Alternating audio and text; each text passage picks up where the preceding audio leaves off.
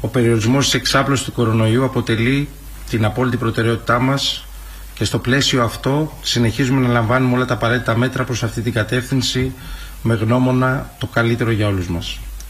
Προκειμένου λοιπόν να αποφύγουμε διασπορά του ιού, λαμβάνονται επιπλέον περιοριστικά μέτρα πέρα αυτό που έχουν ήδη ισχύσει. Από τα μεσάνυχτα της Κυριακής προς Δευτέρα 23 Τρίτου αναστέλει τη λειτουργία των ξενοδοχείων 12 μήνες λειτουργίας ως το τέλος Απριλίου με την υποχρέωση να λειτουργεί τουλάχιστον ένα ξενοδοχείο αναπρωτεύουσα περιφερειακής ενότητας και τρία σε Αθήνα και Θεσσαλονίκη. Ειδική μέρημνα θα υπάρξει για τα ξενοδοχεία των νομών της Θράκης αλλά και των νησιών μας που φιλοξενούν ενισχυτικές δυνάμεις της χώρας και της Ευρωπαϊκής Ένωσης. Το ποιο ξενοδοχεία θα παραμείνουν ανοιχτά θα αποφασίσουν οι σύλλογοι των ξενοδόχων.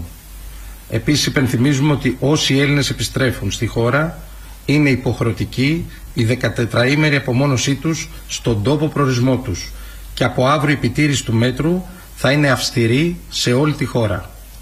Επίσης, θέλω να επαναλάβω για άλλη μια φορά και κατηγορηματικά αυστηρή σύσταση οι πολίτες πρέπει να παραμένουν στην κατοικία τους ώστε να αποφύγουν στο μέγιστο βαθμό τις επαφές με άτομα εκτός του στενού οικογενειακού κύκλου τους.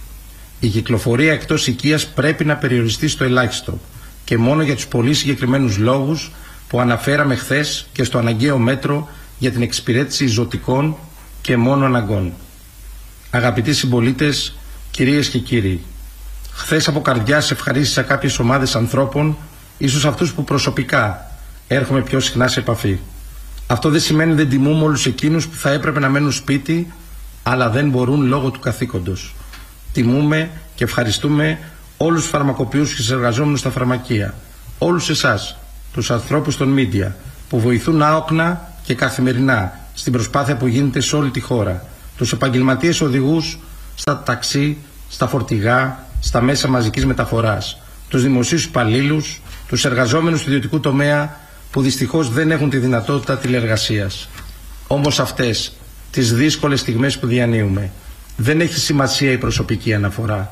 Αυτό που μετράει είναι η προσωπική ευθύνη. Δίνουμε μια δύσκολη μάχη και σε αυτή τη μάχη δεν περισσεύει κανείς. Σας χρειαζόμαστε όλους στο πλευρό μας να δώσουμε μαζί αυτή τη μάχη με το βλέμμα στραμμένο στην επόμενη μέρα. Την επόμενη μέρα της πατρίδας μας, της ζωής μας, των παιδιών μας. Αυτό που προέχει αυτή τη στιγμή είναι η πειθαρχία και η προσήλωση στις οδηγίες. Αυτό που προέχει είναι η ατομική ευθύνη.